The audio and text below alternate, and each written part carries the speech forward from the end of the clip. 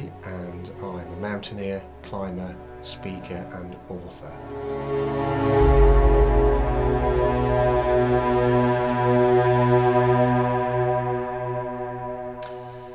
So planning to go to Mount McKinley started a bit unusually really. One of the guys I knew very well, one I didn't know so well. And we'd only had a couple of weekends to climb together and suddenly we're thrust onto North America's highest and tallest mountain, but also one of the toughest peaks in the world and one of the most renowned for bad weather, avalanches, frostbite, horror stories, helicopter rescues. And within a few months there we were and actually taking this, this huge undertaking on board.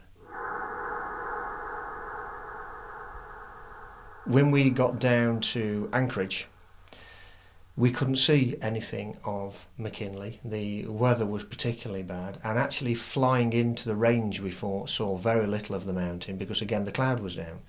I found later McKinley towers over the range.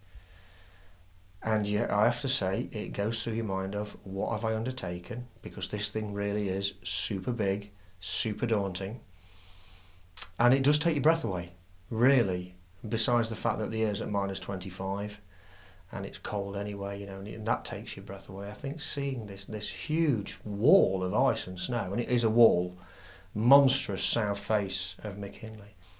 And when I first looked at McKinley from the south side, I actually got a, a, a real eye to eye look at this peak. I thought that is monstrous, that is huge.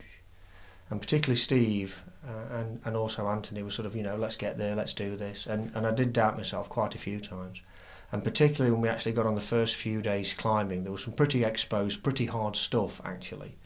But every move, every block of ice that falls off some days, you do think, why am I doing this? What am I doing? What's going to happen? Why is it going right? Where's it going wrong? And, and it's very forwards and backwards in your mind.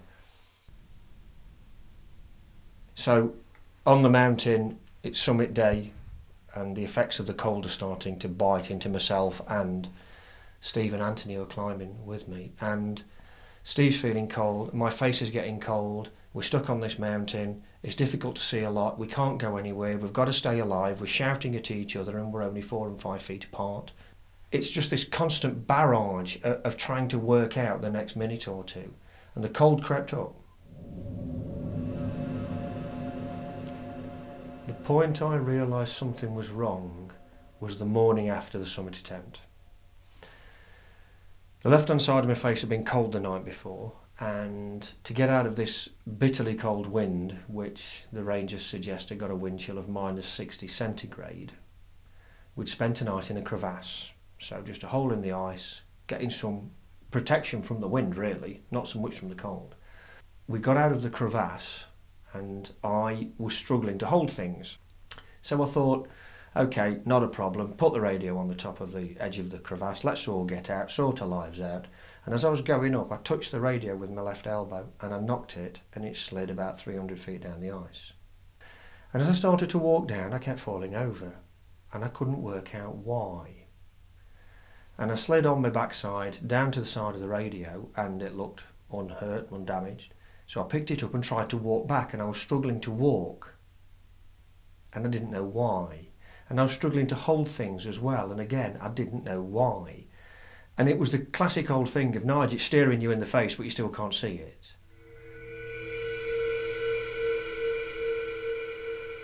I had one moment sat on the top of the mountain later where Steve at this point had gone for help because he was very worried about myself. He was the strongest climber and he took a choice to go and try and find some other climbers on the mountain that we knew people were up there. And I sat with Anthony for a number of hours and we hoped rescue would come and we just tried to position ourselves the best possible within some rocks to keep the wind out, uh, but also to be visible. And I can remember taking the glove off my left hand and my hand was, I can only describe it as contorted slightly claw-like and ivory, like a yellowy ivory colour. It was the most bizarre thing to see. And it wasn't until later, of course, we were thankfully rescued by helicopter, taken off to hospital and defrosted, frankly, and I didn't realise until then that all of my fingers had been frozen solid to the knuckles. My feet had been completely frozen solid, probably to the ankles.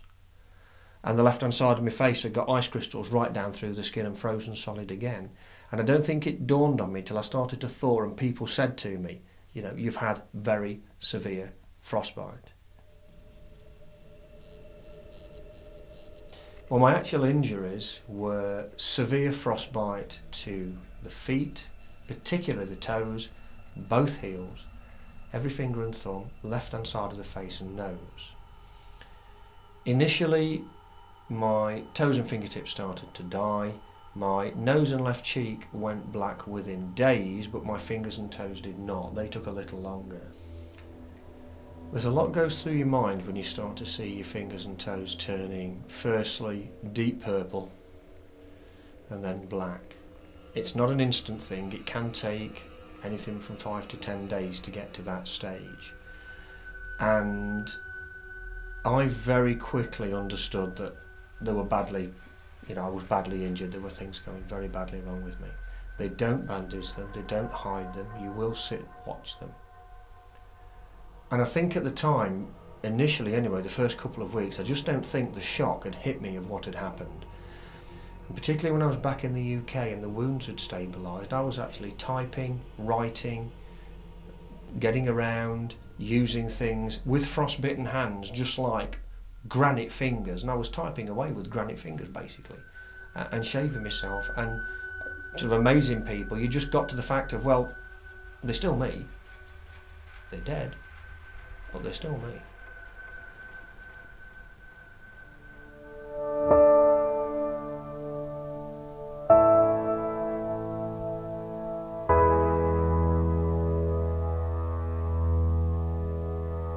Mm. I've always been very thankful for Anthony for staying with me and trying to, you know, keep me going as much as himself because if I'd been left there on my own, then it would be a completely different issue. Physically, I could have been the same, but it's the mental thing. You need the support of other people, and this is something I've talked about quite a lot with people afterwards. You need the support of whether it be friends, family, whoever, to get you through very difficult times in your life. And just being sat there, you'd have probably just frozen to death.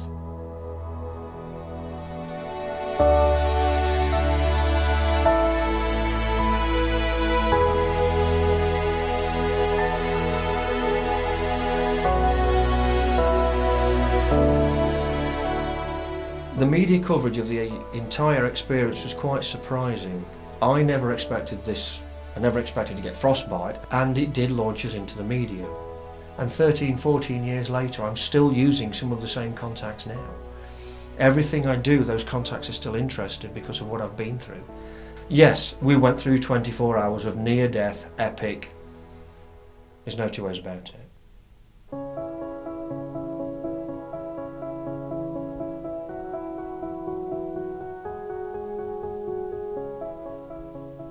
Having frostbite has taught me more about me and about people and about how we work as human beings than I think any education, any sitting with people for hours or going on expeditions could ever do.